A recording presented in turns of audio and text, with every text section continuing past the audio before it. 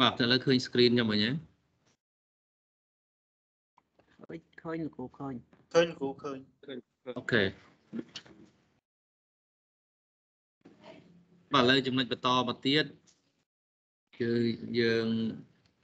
អាចបៀលកាមាន filter បាន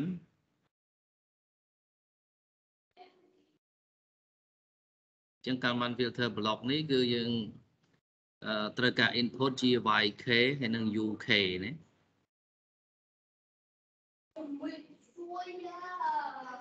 អូខេអឺ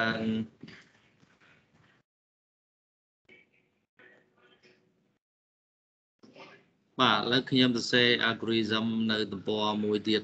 ទុកសិនចឹ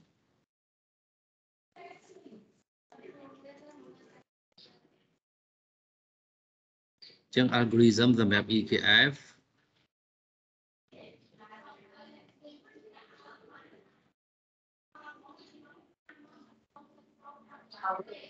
អឺគ្រូជំរាបសួរគ្រូខ្ញុំអឺអ៊ូនស្រាមាញ់ដាច់អ៊ីនធឺណិតទៅលើដល់ទីទៅឈ្មោះគេ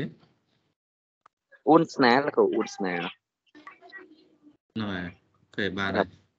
អរគុណ គ្រូបាទឥឡូវ initial អឺ initialization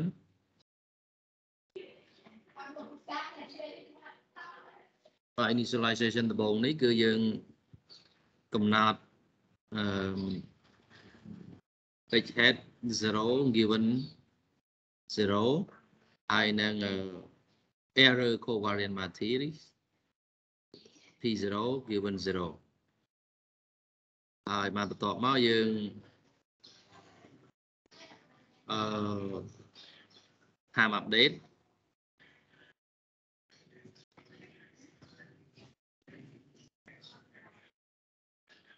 បាទ time update ទី1យើង compute អឺ h hat given ដល់ h width h hat k given measurement up to time k ដក1ដែលស្មើ បាទស្មើអឺ f discrete នៃ hk ដក1 uk ដក1ដែលក្នុងករណីយើងមិញនេះវាមានលក្ខណៈពិសេសត្រង់ថា f យើងដែលស្គាល់គឺជា f continuous អញ្ចឹងឥឡូវយើងឃើញមានអឺ f ហើយមាន hk ដក1បូកឲ្យ ts គុណឲ្យ f continuous យើងនេះណា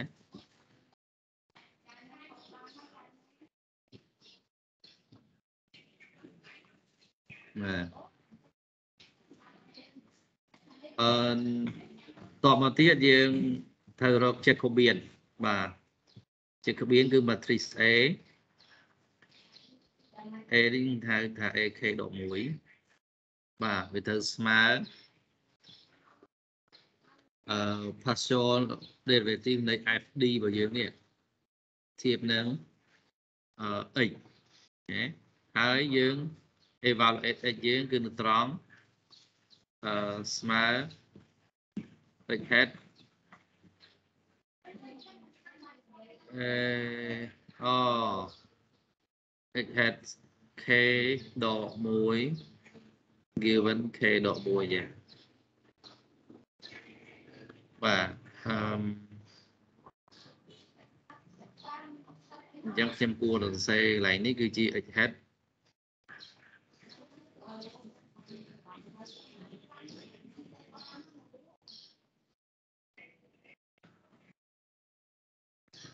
hat វិចិត្រ k ដក1 given k ដក1ណា u k ដក1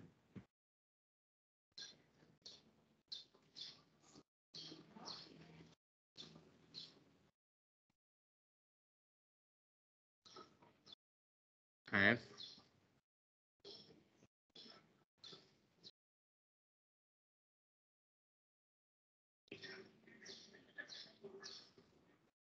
ខេចាំមិនត្រូវណាអឺដល់ដោយសារ database យើងនេះគឺយើងឃើញថាអឺ f d របស់យើងវាមានផ្នែក x head ឡើងនេះមួយហើយមានផ្នែក f នៃ x បាទ f នេះ f នៃ continuous ហើយអញ្ចឹងបើសិនខ្ញុំ derivative x នេះយើង derivative x ខ្ញុំសល់ជា identity ណាបាទ identity ដែល n ខ្វែង n បាទន័យថា dimension វាអាស្រ័យលើ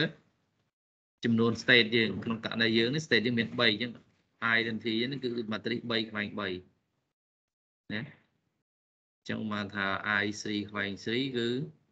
ស្មើ1 0 0 0 1 0 0 0 1ចង់មានន័យអញ្ចឹងណា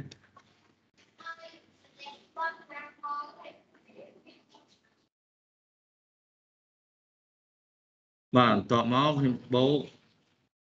PS គុណឲ្យ derivative នេះណា derivative នៃ f យើងនេះ team x ដែល x យើងនឹង evaluate ស្មើ x head k.1 given measurement up to time k.1 បាទហើយបើសិនមាន u នៅក្នុងនឹងដែរគឺ u k.1 ណា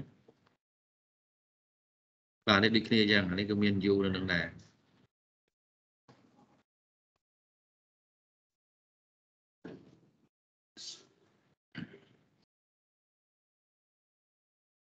បាទបន្ទាប់ពីយើងមាន matrix A ហើយយើងអាច replicate error covariant matrix បាទគឺស្មើ A គុណឲ្យ P គុណ A transpose ហើយបានបូក Q QD ដែលអឺយើងអាចយកដូច QD យើងមុនក៏មុនក៏បានឬក៏យើងអាចយកខុសគ្នាក៏បានអញ្ចឹងខ្ញុំអាចប្រើ QS Q សម្រាប់ estimate ហ្នឹងទៅព្រោះបើសិនជាយើង apply មែនតើយើងអត់ស្គាល់ QD ស្មើអីផងអញ្ចឹងយើងយើងប្រើ QE ហ្នឹងគឺយើង tune យើងជាអ្នក tune ណាចឹងនេះគឺ tune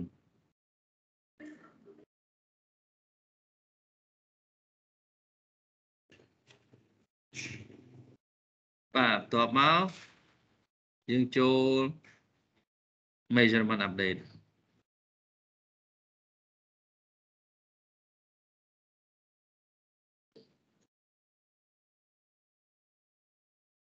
បាទ measurement update គឺ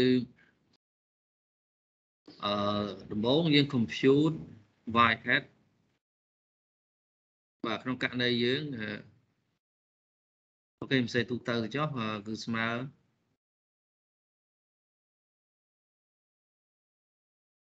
Okay. Y hat k given k ដក1ស្មើ h នៃ h hat k given k ដក1ណា h ហ្នឹងគឺបានមកពីកន្លែងនេះ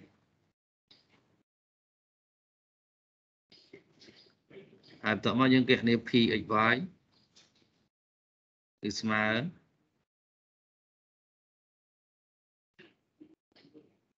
p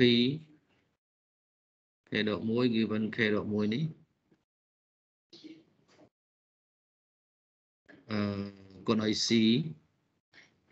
transpose អូ a បើយើងនេះ a k.1 ណាបាទ c យើងក្នុងករណីយើង c ក្នុងករណីយើងគឺ c យើង constant a ណា បាទ c យើង constant អញ្ចឹងខ្ញុំអាចសរសេរ p នេះបានយ៉ាងតែម្ដងជាករណីពិសេសមួយណាអឺបើករណីទូទៅអនុគម h នេះយើងត្រូវរក Jacobian ឲ្យឃើញបាទ Jacobian គឺ matrix C ហ្នឹងតាមរយៈយើងធ្វើ partial derivative របៀបខាងលើនេះដែរតែឥឡូវខ្ញុំអនុវត្តជាមួយនឹងករណីយើងពិសេសតែម្ដង C constant អញ្ចឹងងាយស្រួលទេណាយើងអត់ចាំបាច់ត្រូវប្រើ Jacobian អីទេ នៅក្នុងការរើស C ទេហើយ PYY គឺស្មើអឺ C P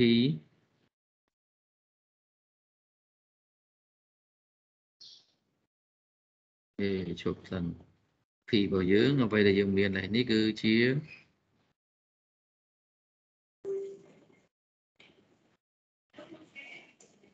បាទសេខុសបាទចឹងនេះ pk given k ដក1អានេះ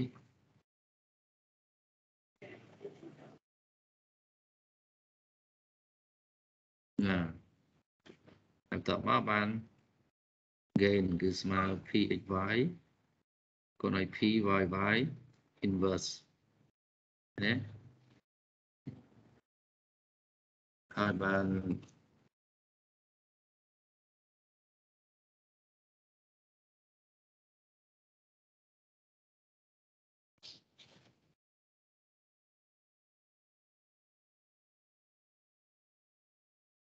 បាទតបមកយើងអាចសេថា x hat k given k ស្មើ x hat k given k ដក 1បូកឲ្យ wk កតា yk ដកឲ្យ y hat k given k ដក1ហើយ p k given k ស្មើ p k given k ដក1ដកឲ្យ wk py y គុណ wk in uh, transport បាទអញ្ចឹងយើងយក algorithm ហ្នឹងយកទៅសរសេរនៅក្នុង Simulink អូខេ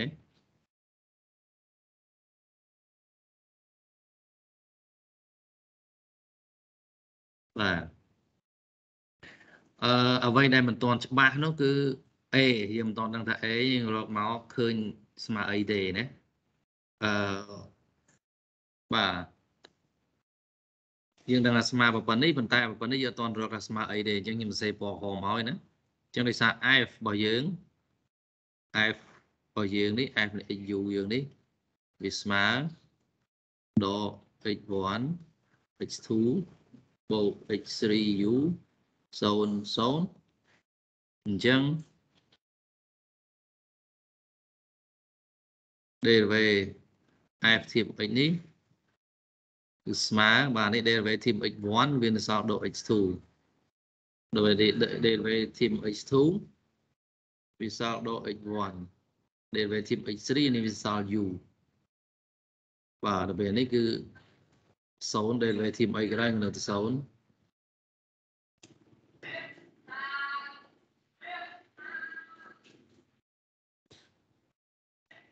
បាទអញ្ចឹង អឺអូខេបាទដល់ពេលយើង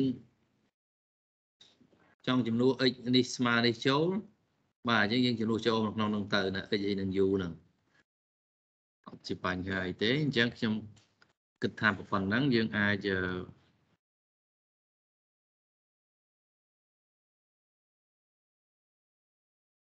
បាទខ្ញុំគិតថាប៉ុណ្ណឹងយើងអាច ចាប់ផ្ដើមសរសេរបានហើយណា simulating បាននេះ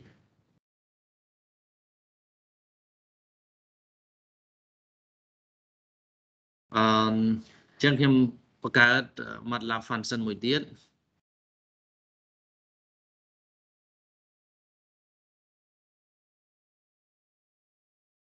MATLAB function មួយទៀតគឺខ្ញុំត្រូវការ input មាន y ហើយនឹង u អូខេបាទអញ្ចឹងខ្ញុំត្រូវការ input ជា yk ហើយនឹង uk.1 ដែ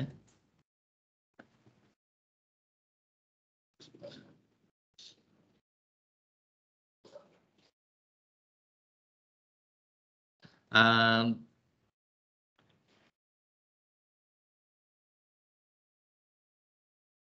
បាទឥឡូវយើងឃើញថាក្នុងប្លុកយើងនោះវាមាន initialization ហើយវាមានតម្រង់ជា loop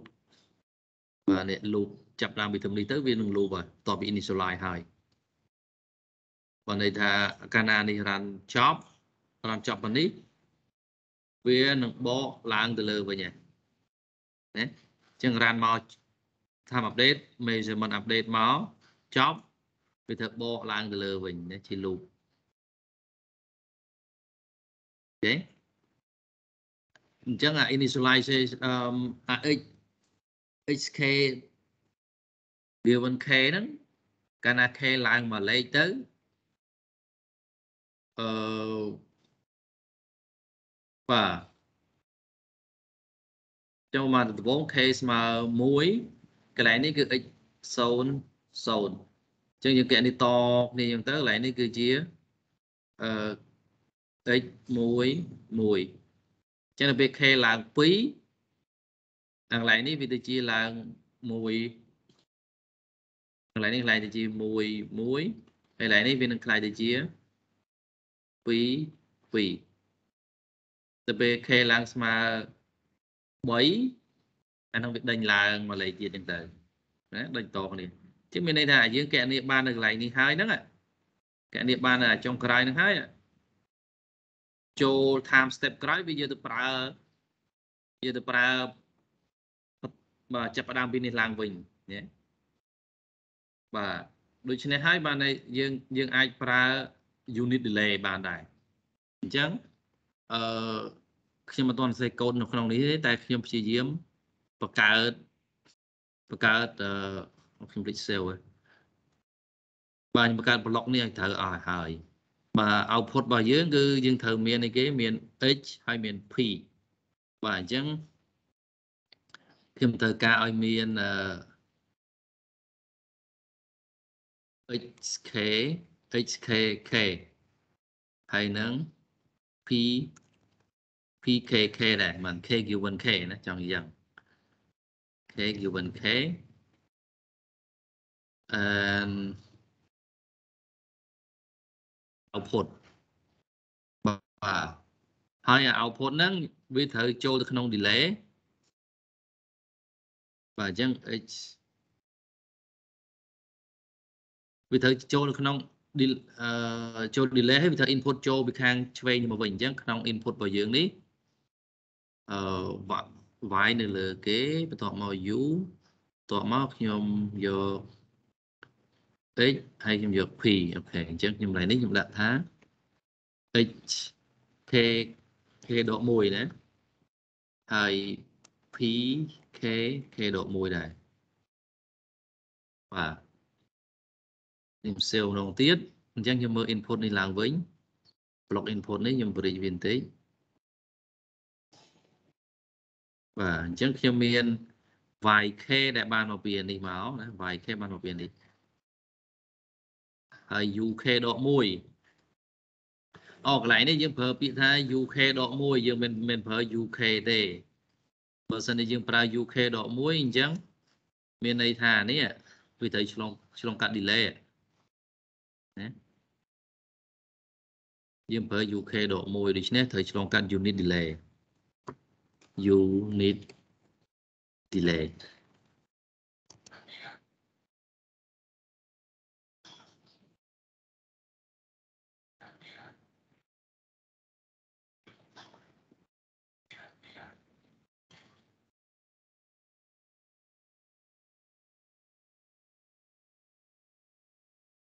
យើងយើងឆ្លងកាត់ unit delay ទៅ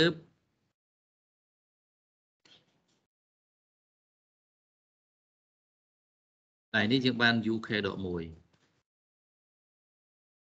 ណាអញ្ចឹងខ្ញុំអាចសរសេរថាកន្លែងកាលណា input ចូលជា UK អូនេះ notation នេះណានោះ output គឺជា UK.1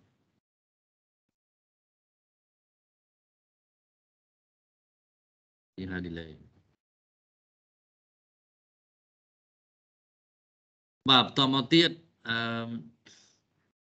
ដូចគ្នាយ៉ាងកន្លែងនេះ HK.1 HKK.1 អឺខ្ញុំត្រូវប្រើ unit delay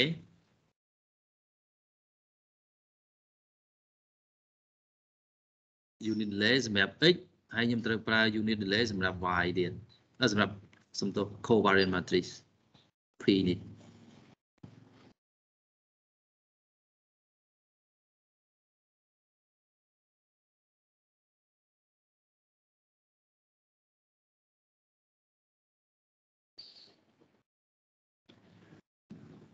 បាទអញ្ចឹងមានន័យថាដើម្បីបាន PK K ដក1អឺខាងមុខនេះគឺអឺ អូ P PK ដក1 K ដក1 sorry ខ្ញុំសេ symbol អត់ត្រូវទេអានេះគឺអឺ K ដក1ហើយ K ដក1ទៀតអញ្ចឹងនេះដក1ហើយ K ដក1ហ្នឹងហើយចឹងត្រូវ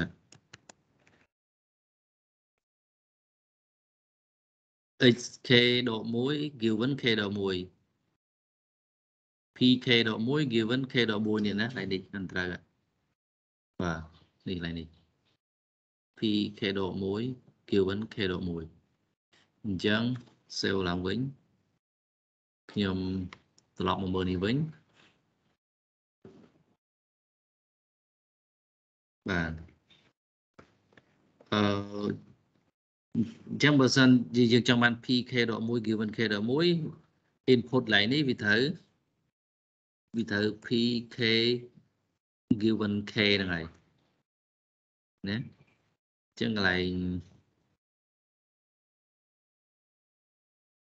បាទអញ្ចឹងកន្លែងនេះខ្ញុំអាចសេបានថាគឺជា p បាទខ្ញុំបាច់សរសេរក៏បានដែរព្រោះយើងឃើញយើងអាចមើលនេះតែម្ដងហើយអានេះដូចគ្នាអញ្ចឹងអឺ input input ចូលមកក្នុងនេះវាប្រកាសជា x a given k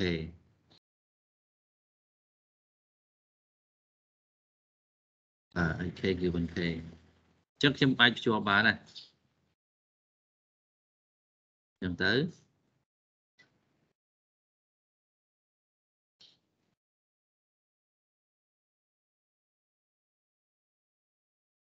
អឺអានេះដើម្បីកុំឲ្យឃើញវាកាត់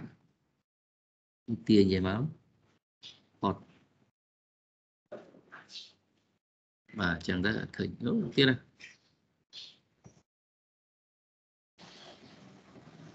បាទ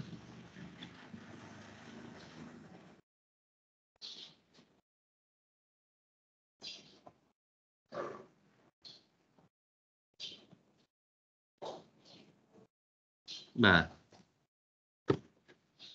ចឹងទៅបាទឥឡូវយើងមើល initial initialization នេះ p x0 x hat 0 given 0 p 0 given 0នេះ យើងត្រូវដាក់ initialization ឲ្យណាអញ្ចឹង initialization អានេះអឺ initial estimation ដោយសារក្នុង estimator យើងអត់ដឹងថាតម្លៃវាដំបូងបំផុតប្រហែលទេចឹងខ្ញុំចេះតែស្មានទៅទេបាទ initial initial estimate initialization ហ្នឹងគឺ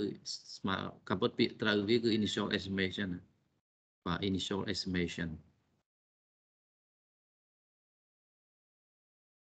initial estimation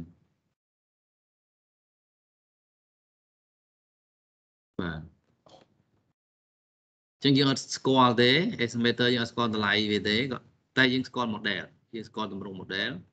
ហើយយើងយើងអាចវាស់បានហើយយើងដឹង input u ណាយើងអាចវាស់បាន yk ហើយយើងដឹង input uk ដក1បាន តបមកអឺ p មួយទៀត initial estimate របស់ p initial estimate របស់ p គឺអឺខ្ញុំប្រើ i ហ្នឹងទៅ i នៃ3 i ហ្នឹងស្អីគេបាទសួរ i ហ្នឹងស្អីគេ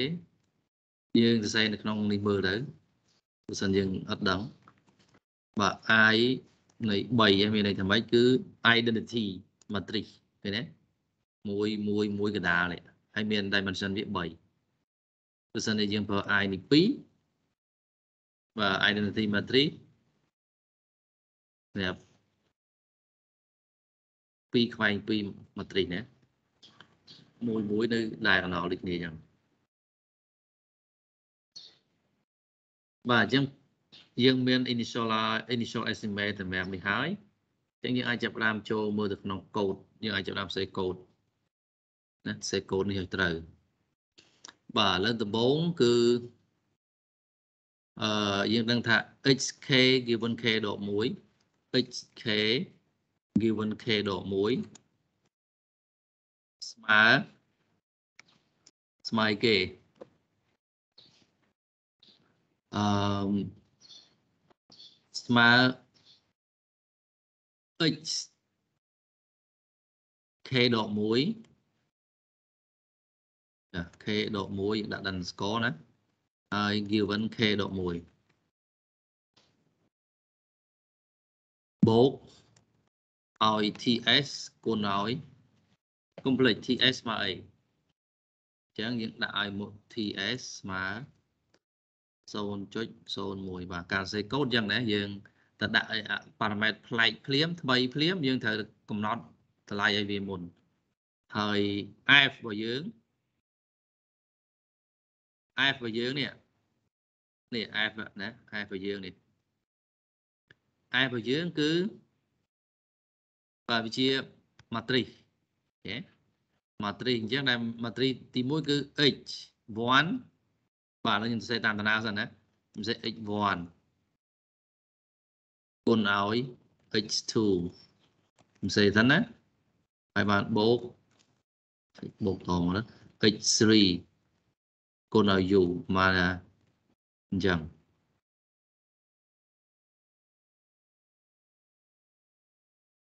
បាទហើយខ្ញុំចុះបន្ទាត់កន្លែងហ្នឹងដោយសារវា0បើយើង កំណត់វាជា matrix យើងអាចចុះបន្ទាត់យើងក៏បានបើសិនយើងចេះប្រើ semi column ក៏បានណាអឺបើឡើយយើងមើលបញ្ជាក់បន្តិច f របស់យើងនេះនៅក្នុង algorithm ឡើយយើងនេះយើងសេថា k.1 k.1 ណា x hat k.1 given k.1 បើ f នៃ x ស្មើអញ្ចឹងអញ្ចឹងបើ f នៃ x hat k.1 given k.1 មានន័យថា x ខាងក្នុងនោះយើងចំនួនដោយ x hat k.1 given k.1 អញ្ចឹងអា x យើងនេះវាគឺបានមកពី x k.1 given k ដក1ហើយអា x នេះបាទវាជា x k ដក1 given k ដក1 x នេះក៏ដូចគ្នាដក1 given k ដក1 ហើយ u របស់យើងគឺជា u k ដក1ឃើញទេ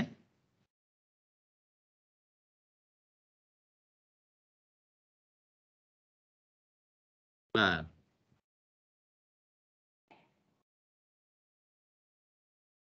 ចឹងយើងសរសេរអានេះចប់ហើយយើងមើល algorithm យើងតទៀត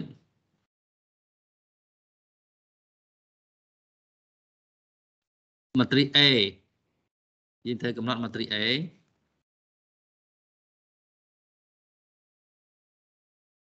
matrix A ស្មើ identity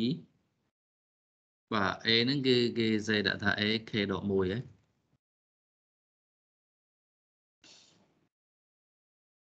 អឺមយើងមើលកន្លែងនេះគឺបានមកពីគេ identity matrix បាទគឺ I I នេះ3បាទយើងបានឃើញមិញហើយបូក TS គុណឲ្យគុណឲ្យគេបាទគុណឲ្យ partial derivative នេះ partial derivative នេះយើងបាន derivative ទៅយើងចេញចេះដក x2 ដក x1 u ណាអញ្ចឹង គុណឲ្យបើកនេះដក x2 ដក x1 ហើយ x u បាទ u ចូលបន្ទាត់នេះ0នេះ0នេះ0ចូលបន្តទៀត0 0 0 បាទប៉ុន្តែយើងត្រូវបញ្ជាក់ដែរដូចឥឡូវអញ្ចឹង x យើងហ្នឹងយើងត្រូវ evaluate នៅត្រង់ណាបាទសួរថាយើងកំណត់ x ហ្នឹងនៅត្រង់ x ជា x នេះតម្លៃជា x អីគេណាអញ្ចឹងបើសិនយើងមើលក្នុងកូដយើងនេះគឺអឺយើងត្រូវ evaluate ត្រង់ h head k ដក1 k ដក1អូខេជាងកន្លែងនេះយើងទៅសេដោយ k ដក1 k ដក1ដែរ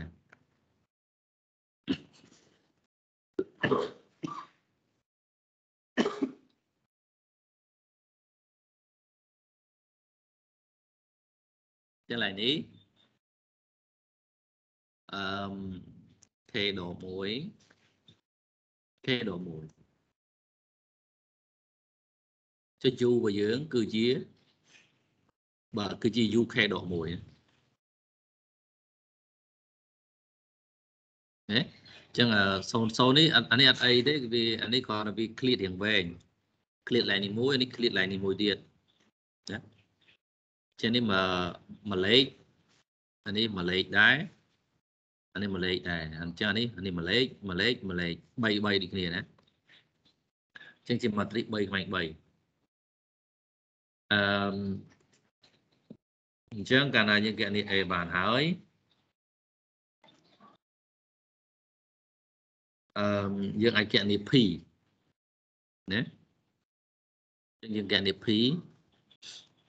P យើងហៅ APK k given k ដក1ស្មើ A k ដក1គុណឲ្យ P អឺ P អីគេ P k ដក1 given k ដក1 អឺគុណឲ្យ A k ដក1នេះ transpose បើខ្ញុំប្រើតែ prime នេះទៅ transpose ហើយ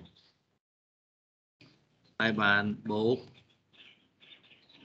QE យ៉ា QE ដូចជាថ្មីទៀត tune ណាគេថា tune ជាតម្លៃដែលយើងត្រូវឲ្យទេយើងអ្នកផ្ដល់ឲ្យទេអញ្ចឹង tune យើងដាក់នៅនេះ QE ស្មើ អឺដូចសរៀងនឹងអា QD យើងមុនដែរអឺយើងអាចដាក់ផែគ្នាទៅ5គុណ10ពីគុណដក2ហើយគុណឲ្យ diagonal diagonal នៃ1 1 1យើងដាក់សិនទៅ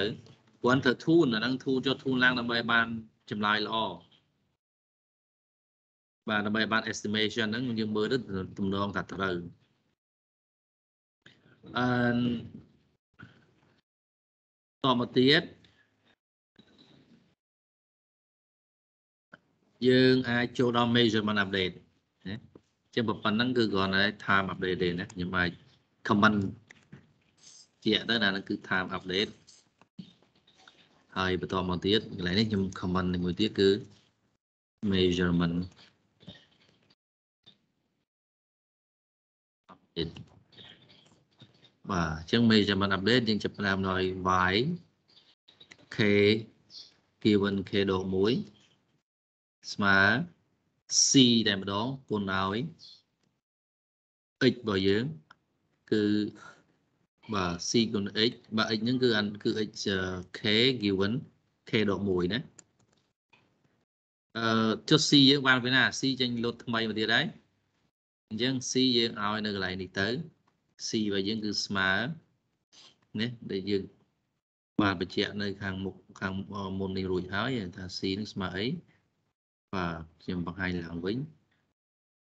C បាទកន្លែងនេះ measurement គឺយើងវាស់បានយើងវាស់បាន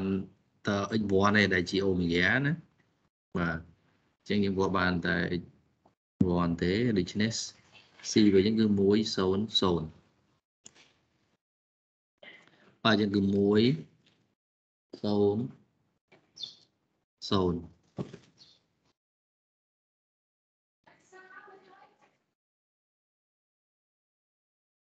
អឺបន្ទាប់មកអឺបាទយើងចូល slide ទី3នេះយើងអាចកណនី pyy អឺ phxy មុន phxy ស្មើ ស្មើគេ pk given k ដក1ដែលយើងទំកណនីបានពីលើនេះមិញនេះគុណឲ្យ C transpose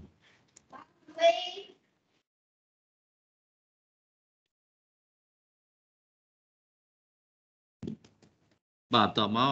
PYY PYY គឺស្មើ C គុណឲ្យ P ដែលយើងទំកានេះឃើញមិញនោះគឺអីគេ P K given K ដក1អឺគុណឲ្យ C transpose ហើយបានបូក R អូខេបាទអញ្ចឹង R នេះគឺ tune ដែរណាខ្ញុំបន្តបានបញ្ជាក់នៅក្នុង slide យើងនេះគឺ tune ពណ៌ហមណា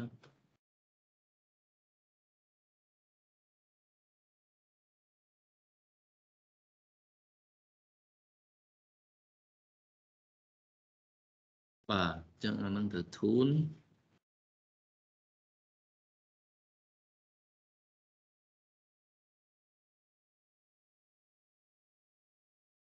អញ្ចឹងបើទៅ tune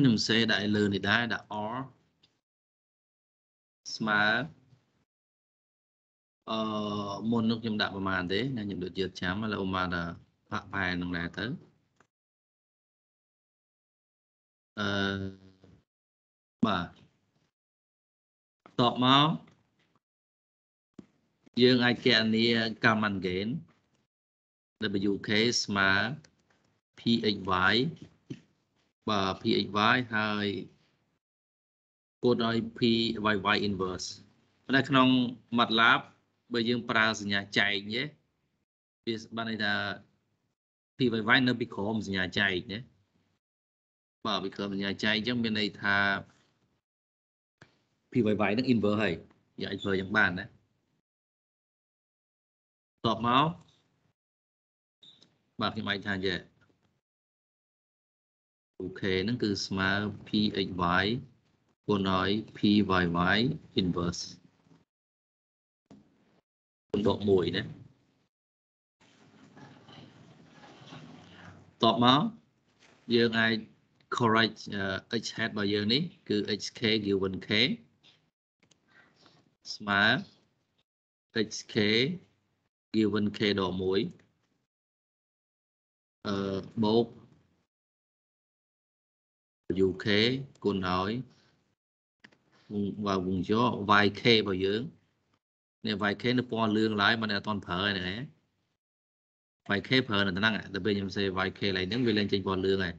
តែនេះហ៎ហ៎បាត់ហើយ YK ដកអឺ Y head Y YK given K ដក1ហ៎ណា YK given K ដក1អានេះណា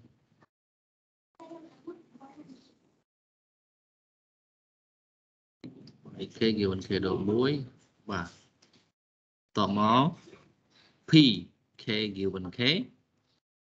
ស្មើ p k given k ដក1ដក uk គុណឲ្យ py pyy គុណឲ្យ w K transpose អា prime នេះគឺ transpose ណា ចឹងយើងថាកូដយើងសេអស់ហើយលេងអត់មាន warning មានទេបានថា input នេះយើងបានប្រើអស់ហើយអញ្ញាត parameter ទាំងប្រមាណគឺយើងបានប្រើអស់ទៀតណាអត់មាន syntax error ទេយើងចេញពណ៌បៃតងខ្ញុំអាច save វាបានបាទអញ្ចឹងកូដសម្រាប់ EKF នេះអានេះគឺជា EKF ហើយ EKF សម្រាប់ state and parameter estimation ណា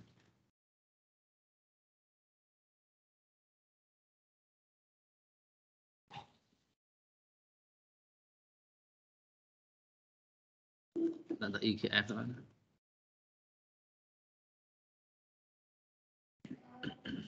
bờ này dừng ai đặt thả thì anh đã tha chi measurement này?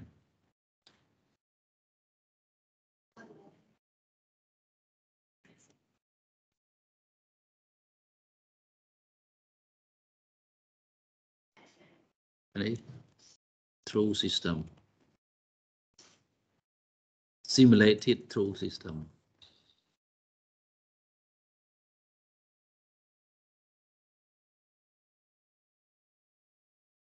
អូខេឥឡូវយើងមាន x ហើយយើងចង់ plot x មើល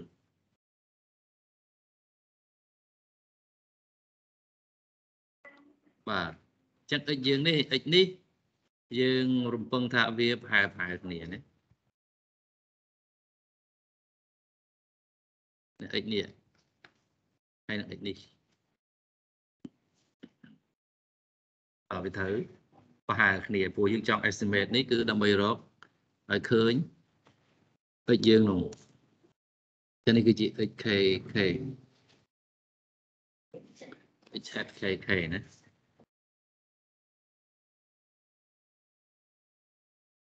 អឺអញ្ចឹងខ្ញុំបានតាមមើលមើល5 second estimate បានអត់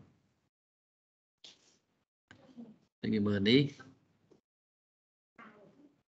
បាទយើងឃើញថា estimation នេះគឺ diverge ឃើញថាប៉ារ៉ាម៉ែត្រនេះឡើងហូតដូចជាមិនត្រូវទេឬក៏វាមិនតាន់ដល់យើងរានទៅបាន5 second ណាបាទអញ្ចឹងខ្ញុំរានវាដល់20 second នេះអឺ20 second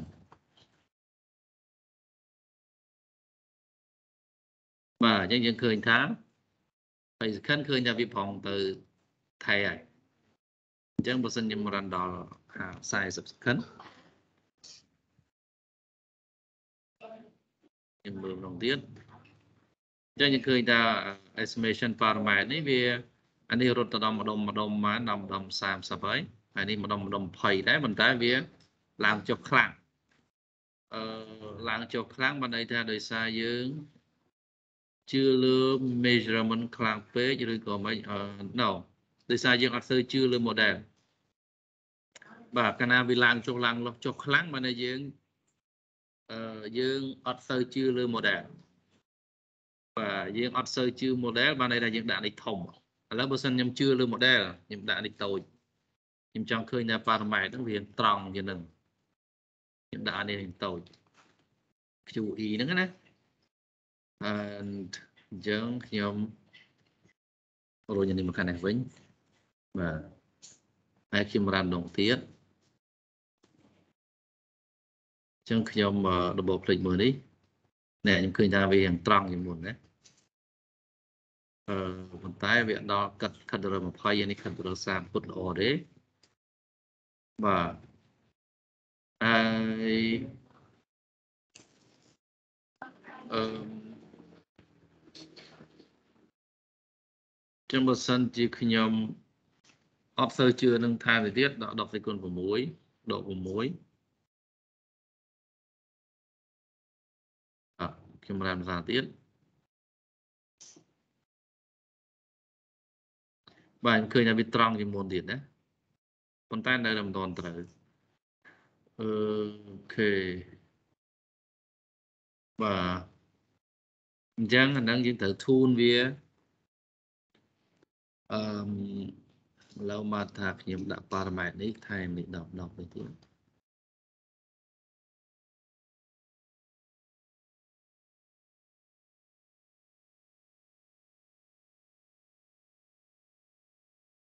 នេះ40 second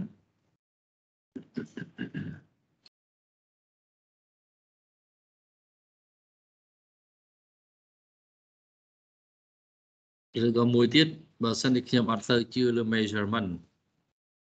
ខ្ញុំតឡើងបាទខ្ញុំតឡើងអានេះវិញបើសិនខ្ញុំអត់ជឿលើ measurement ទេ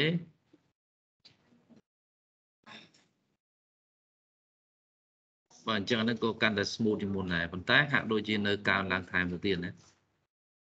អឺខ្ញុំអាចរ៉ានដល់100 second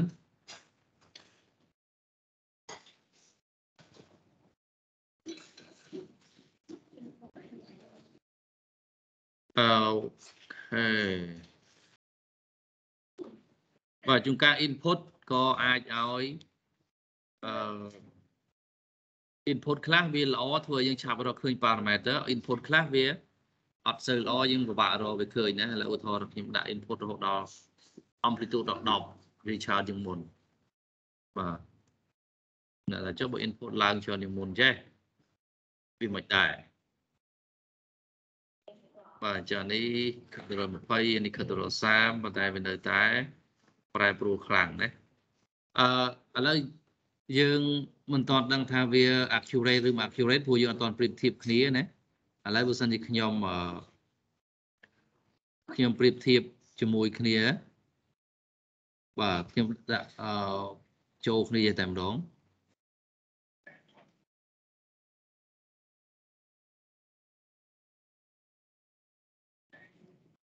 បាទ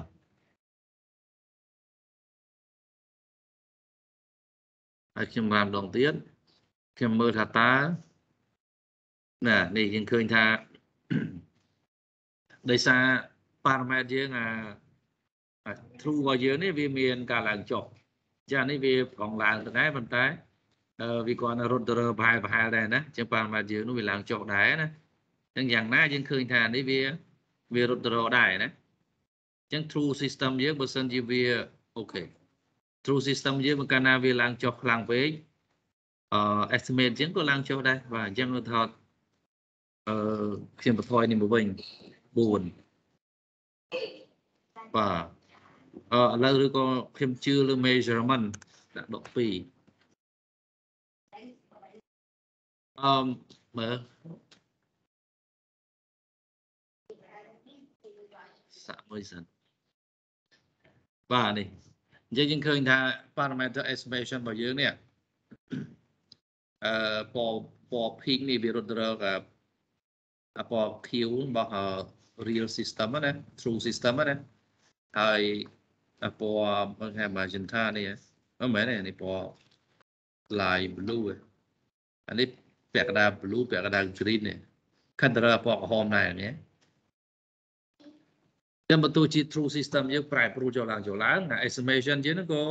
វាទៅតាម raw ដែរឃើញទេចឹងកាលណា A B យើងអាច estimate បាននោះមានន័យថាយើងស្គាល់ពី motor នឹងច្បាស់អាច design controller តាម formulation យើងលើកមុនបើចានេះបើសិនជាខ្ញុំរ៉ាន់ត្រឹមតែ40 second ក៏ឃើញបានដែរណាដាក់ត្រឹមតែ40ទៅបានណា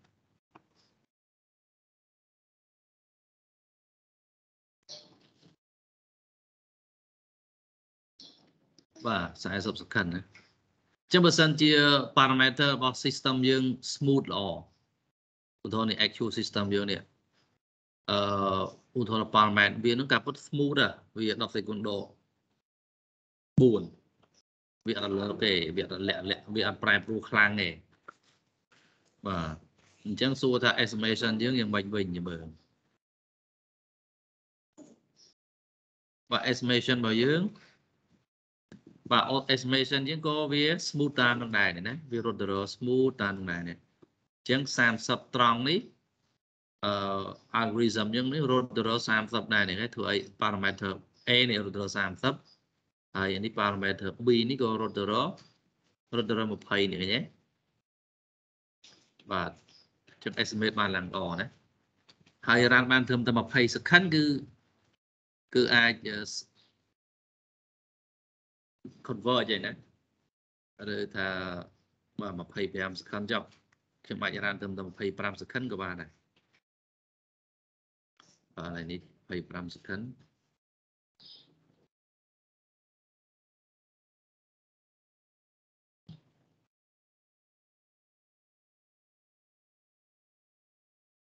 អូខេ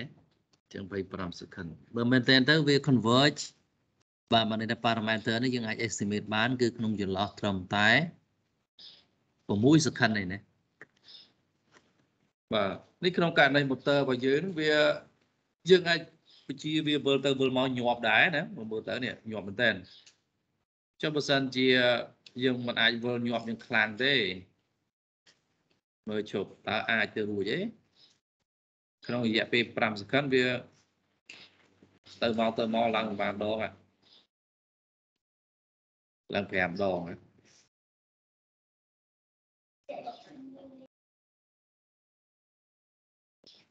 នេះ5 second នេះគឺទៅទៅហើយមកវិញបាទនេះជាលបឿនដែលលបឿនលបឿនខាងបោកលបឿនខាងដកអញ្ចឹងទៅហើយមកវិញទៅហើយមកវិញបាទញាប់មែនតើអញ្ចឹង frequency នេះវាញាប់ខ្លាំងណាស់ បើមែនតើទៅវាមិនអាចញាប់ចឹងពេកទេណាវាអាចអឺ frequency វាគឺចាំក្នុងមួយសក្កិនវាទៅឲ្យមកវិញបាទហើយក្នុងមួយសក្កិនវាទៅឲ្យមកវិញអញ្ចឹងបើសិនជា frequency វាក្នុងមួយ2 2សក្កិនបានទៅឲ្យមកវិញយ៉ាងនេះគុណ0.5អញ្ចឹងបើសិនជារៀងវើលសួរតាយើងដាក់ យើងចូលទៅរៀងវើលថាតើវានឹង estimate បានអត់បាទបានដែរតែយឺតជាងមុនបន្តិចតដល់ប្រហែលជាជាង10សក្តិណាបាន estimate បានណាមានន័យចឹង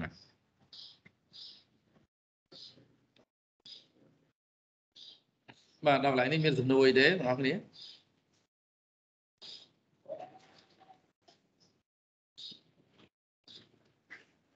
បាទខ្ញុំបានចុច record ហើយយើងយើងអាចមើលវីដេអូតាមក្រោយបានណាតាមអត់ទៅ error អូមានអ្នក build model បដាបដាតាមខ្ញុំទៀតហ៎បាទគ្រូជាយាមឲ្យមើលយល់ល្អជាងប៉ុន្តែអត់អីទេយើងមានវីដេអូ record ដែរមើលលើក្រោយថែមទៀតក៏បានដាក់ទៅវា error មិនគ្រូ error តែកណ្ដោ បាទឥឡូវអាច share screen ឲ្យខ្ញុំមើលមើល error យ៉ាងម៉េចបាទគ្រូ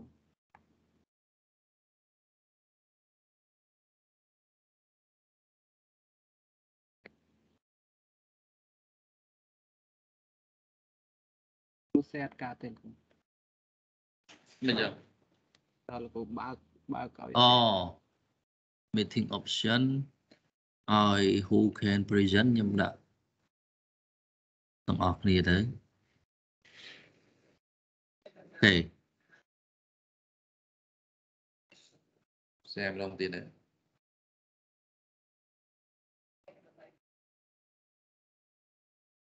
ខ្ញុំខ្ញុំរ៉ាំទៅវា error ទៅខុសអីអឺអូខុសសញ្ញាគុណនេះមើលនេះ សញ្ញាគុណនេះយើងមានដុតឲ្យគុណទៀតអត់ត្រូវទេចុចចុចចុចលើនេះហើយចុចលើអាកន្លែងមិញនេះនេះឥឡូវចូលកន្លែង error មិញវិញមកចុចទៅវានឹងប្រាប់ទៅដល់ជួរណាហ្មងវាលឿនជាងកុំឲ្យពិបាករកទៀតអឺខ្ញុំ request control ក្នុងខ្ញុំបញ្យល់ខ្លះឲ្យចេះប្រើ tool វាខ្លះដើម្បីលឿន បាទអា diagnostic view ហ្នឹងណាយើងអាចក៏ពិតនេះយើងអាច click កន្លែងនេះឃើញដែរនេះបើសិនយើងច្រឡំបិទវាឥឡូវឧទាហរណ៍បិទខ្វែងវាចោលខ្វែងហ្មងឧទាហរណ៍បាទហ្នឹងហើយឧទាហរណ៍ច្រឡំខ្វែងវាចោលហ្នឹងទៅហើយយើងនេះយើងមកចុចកន្លែងនេះ view 6 error នេះកន្លែង diagnostic ហ្នឹងហើយចុចទៅនេះឃើញទេមកចុចទេចុចខ្លួនឯងហ្នឹងហើយហើយដែលយើងឃើញថាម៉េចនេះអឺ error ត្រង់កន្លែង គុណនេះយើងប្រើ dot ហើយគុណនេះឃើញទេហើយគេដាក់ថាក្នុង function ekf ហើយនេះអក្សរពណ៌ QQ លេខលេខពណ៌ QQ នេះជួរទី15យើងចុចហ្នឹងទៅវាទៅដល់ហ្នឹងហ្មង click លើហ្នឹងទៅអឺនេះវា load មក highlight ហ្នឹងណាអឺអញ្ចឹង W WK ហ្នឹងវាអត់ត្រូវទេអឺ XY PXY ហ្នឹងវាអត់ត្រូវទេ ឬក៏មិនកូដហ្នឹងដូចជាមិនខុសទេណាមើលទៅឬក៏បើ dimension វាអត់ត្រូវវាអាចវាអាចខុសមកពីអឺខុសមកពីនេះយើងអឺ delay យើងដាក់តម្លៃមិនទាន់ត្រូវមើលទៅខុស dimension តាមមើល delay កន្លែង symboling នេះហ្នឹងហើយខ្ញុំមើលនឹងសិនមើលអឺ អានឹង P អានឹង P ត្រូវបាត់ទៅហើយ x នោះអានឹងត្រូវហើយមកពីលើនោះមួយមួយ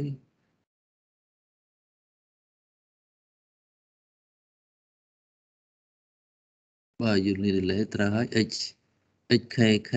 xkk 31ត្រូវហើយ pkk 31ត្រូវ ចឹងមើលអឺចឹងយើងមើលកូដម្ដងទៀតសិនមើលចឹងខ្ញុំមើលកូដហ្មងហ្នឹងហើយ kk ដក1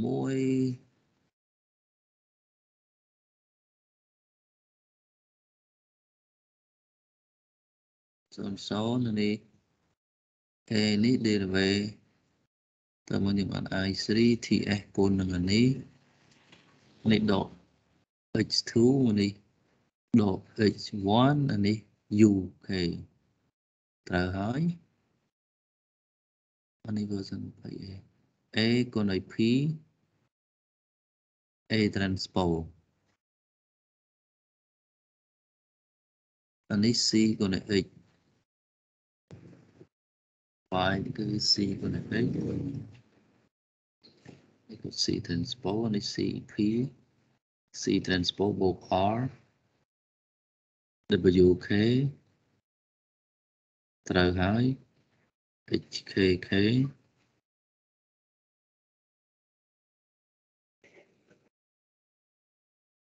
វាយដក y kk ដក1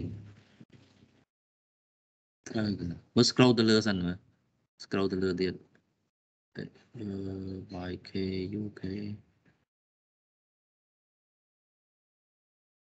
អឺកូដត្រូវអស់ហើយតា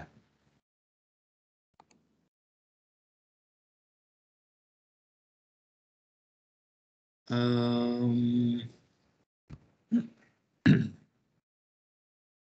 កូដត្រូវអស់ហើយតែ run អត់ចេញអ simulate នេះអត់ទាន់សួ មើល simulate វិញមកយ៉ាងមើលម្ដងទៀតមក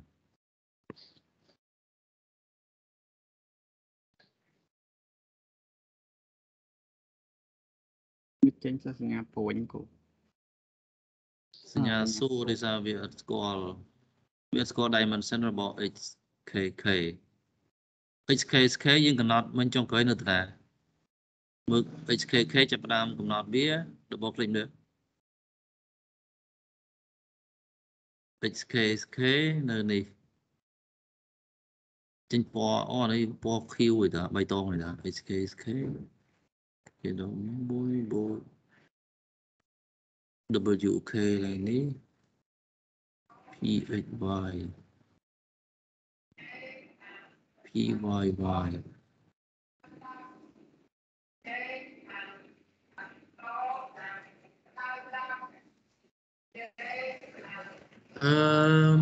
ចាំចំបែកដែរចាំ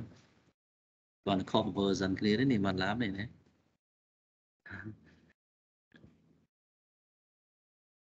អឺ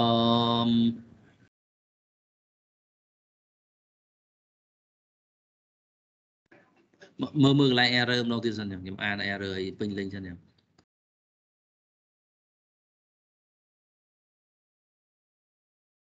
uh, incorrect dimension for matrix multiplication check that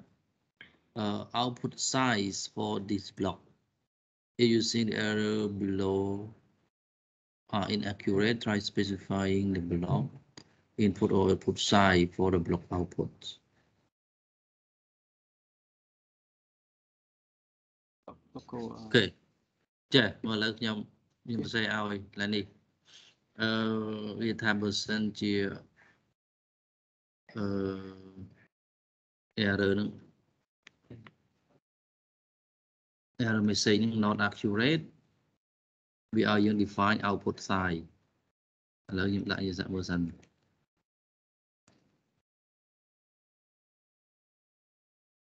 ខ្ញុំកំណត់ size xk xk ឲ្យមុនសិនតបមក xk xk លើនេះយើង កំណត់វាស្មើអញ្ចេះ ហ្នឹងហើយឥឡូវសារ៉ាន simulink ម្ដងទៀតមើល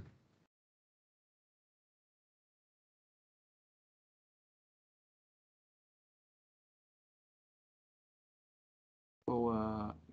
អានអាយ delay នេះហ្នឹងគូ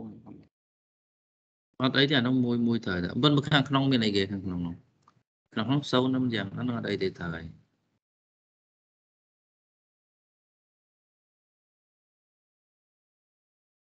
លោកគ្រូមិនមែនបោះលោកគ្រូងឹមខុសកន្លែង function 2ទេលោកគ្រូនៅខាងក្រោមហ្នឹងពី KK របស់យើងហ្នឹងដូចគាត់ដាក់បើអត់ត្រូវតាមបទលោកគ្រូអញ្ចឹងហើយណាជួរក្រោមគេលោកគ្រូមកកន្លែងអឺ PXY របស់លោកគ្រូដូច PYY ហ្នឹងជួរក្រោមគេ PXY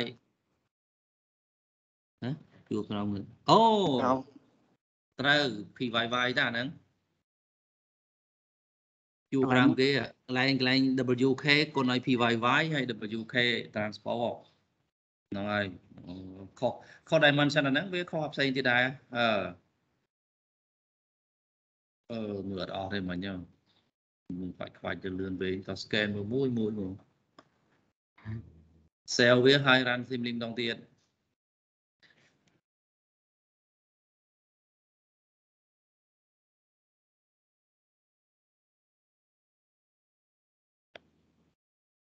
អឺតើហើយហ្នឹងហើយត្រូវហើយ5 second វាអត់ទាន់ converge ល្អទេណាតដល់25 second អីហ្នឹង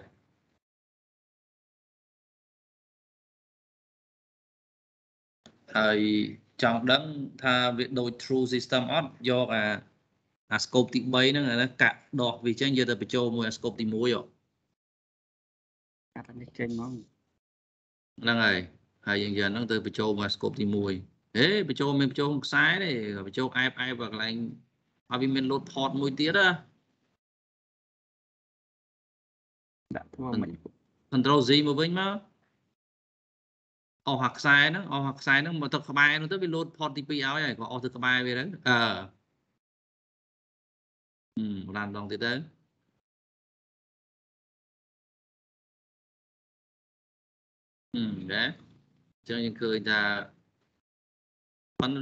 ហើមបន្តិចណាអត់រត់ទៅល្អទេណាអឺហ្នឹងហើយនេះដោយសារអីដោយសារនេះទៅដឹងអឺ input u របស់យើងយើងដាក់ប៉ុន្មាន amplitude វាអត់ដល់ដូរដឹង amplitude វាដាក់ដល់10 volt បានល្អទីនេះមកហ្នឹងហើយ amplitude អឺ10វិញតាហើយ frequency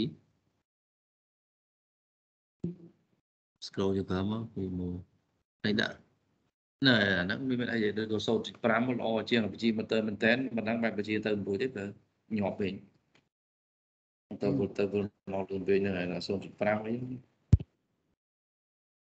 ប៉ុន្តែមិនហ្នឹងហើយប្រហែលជា tune R ហើយ QE មិនទាន់ត្រូវមិញណា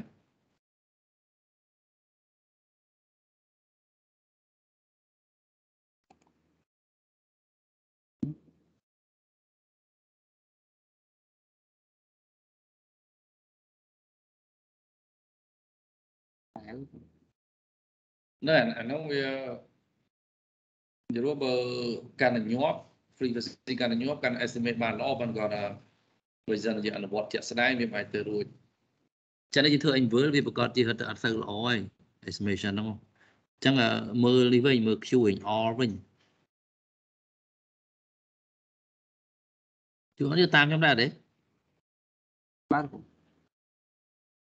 គ្រូ QNR យកតាមខ្ញុំដែរទេនៅអាជួរលើ HK SK អីស្មើ031នឹងលុបចោលបានលេងអានឹងវាអត់ប្រយោជន៍ទេនេះបាទហើយអឺប៉ុន្តែនេះ QNR នេះអឺអូយកយកយកអានេះនេះយកនេះ10មើលនេះ10អឺហើយយកនឹងមួយទៀត10តែមើល sale នោះទៀត run នោះទៀតមើល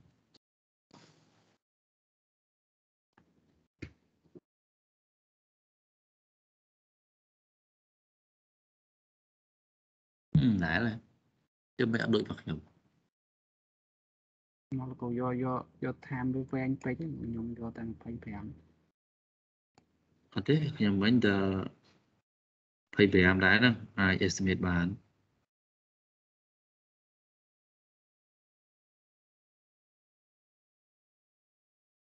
អូមើលជុំអឺ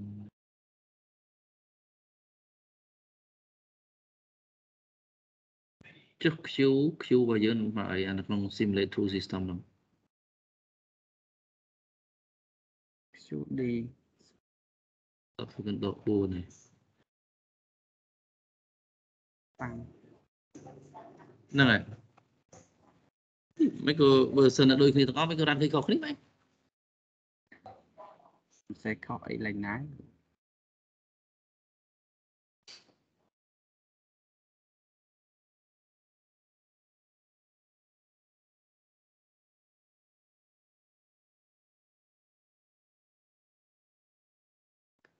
ហ្នឹងហើយប្រហែលជាមានកន្លែងណាមួយខុសដែរយ៉ាងណាអឺ or យើងស្មើប៉ុណ្ណាប៉ុន្តែបើខុសតា tuning parameter ទិញទូចអត់អីទេមើល EQF KF KF ដូចជាមិនខុសទេណាបើនឹងខុសវាមិនអាច estimate បានទេ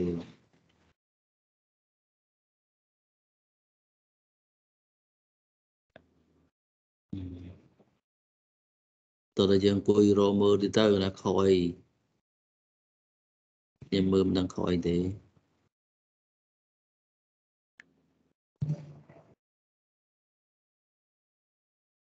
យ៉ាចាំមើលប៉ារ៉ាម៉ែត្ររបស់ខ្ញុំសិន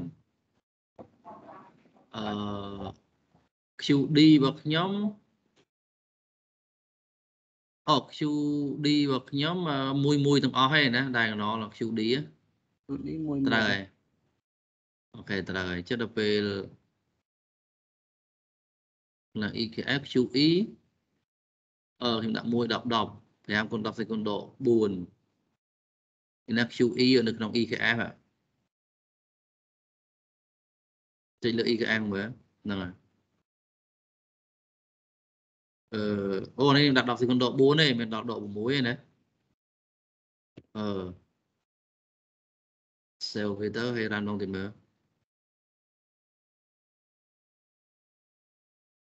កាលណា Q នោះកាន់តែធំ parameter របស់យើង estimate estimation វាកាន់តែ sensitive ហ្នឹងហើយហីមិនក៏លាក់លាក់ខ្លាំងម៉េច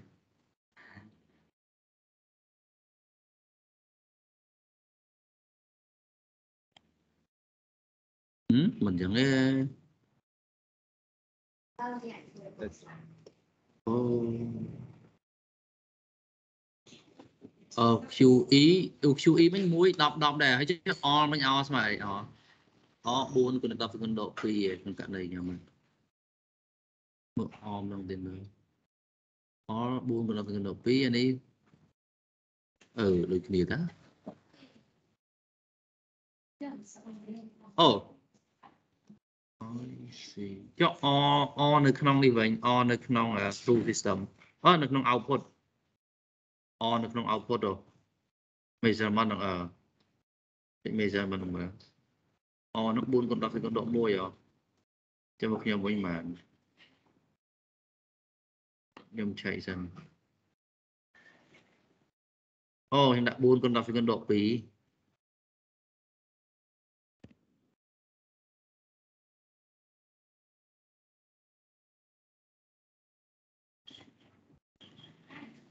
ប៉ុន្តែអាហ្នឹងគួរ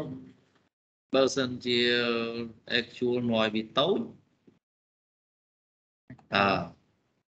actual noise តូចហើយបើសិនជាយើង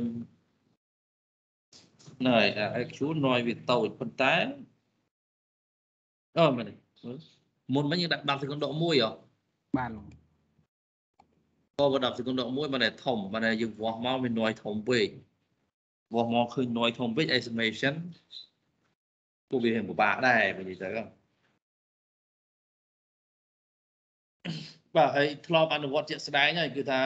parameter estimate បានត្រង់ល្អស្មើល្អអញ្ចឹងដល់វា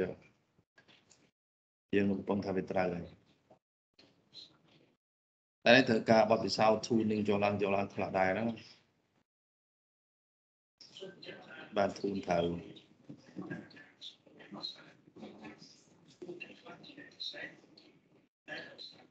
អូខេឥឡូវយើងសម្រាប់ប៉ុណ្ណឹងចុះណាបាទលោកគ្រូល្ងាចរៀនទៀតដែរគ្រូក៏អត់ទេអត់ទេអ្នកខ្ញុំអឺបានប្រាប់ទៅកក្កដាដែរហើយតែកក្កដាអត់ទាន់ប្រាប់ទៅខាងនោះទេចូលលោកគ្រូលំហាត់លេខ2ហ្នឹងលោកគ្រូត្រូវ